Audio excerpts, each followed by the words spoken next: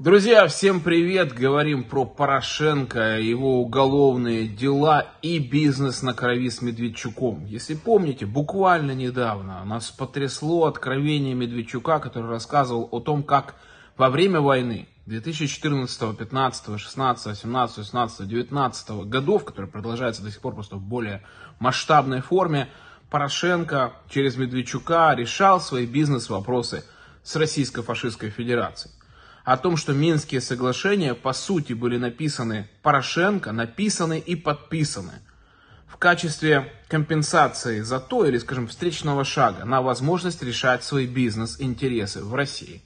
Возможность зарабатывать на поставках дизеля по нефтепродукту, проводу при Карпате Запад Транс, возможность сохранить в кондитерскую фабрику Рошен в Липецке, возможность зарабатывать на контрабанде запчастей для украинской военной техники, зарабатывать на угле, на всем, на чем мог заработать Порошенко во время войны и зарабатывать колоссальные деньги. Вот эти откровения появились в Ютубе, как показания Медведчука, и тишина.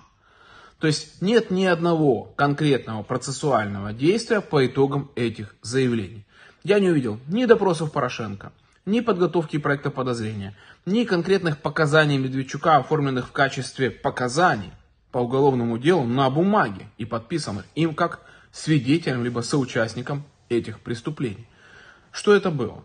В кулуарах распространяются слухи о том, что это была такая попытка Баканова спасти свое кресло, потому что на него точит зуб президента, собирается его уволить за какие-то махинации, которые нам пока неведомы.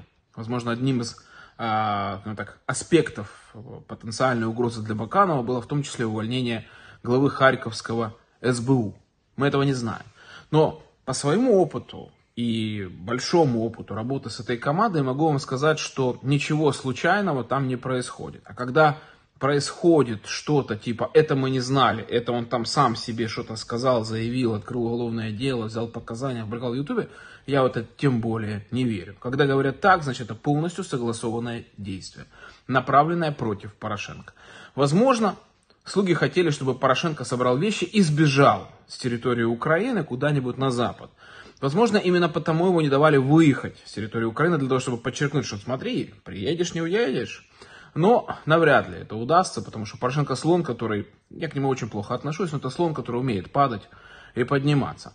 А вот когда появляются показания против Порошенко, которые заканчиваются ничем, это говорит либо о том, что этих показаний нет – либо о том, что Порошенко эти показания уже у кого-то выкупил. Как вы думаете, что там происходит на самом деле и почему Порошенко не призывают к ответу?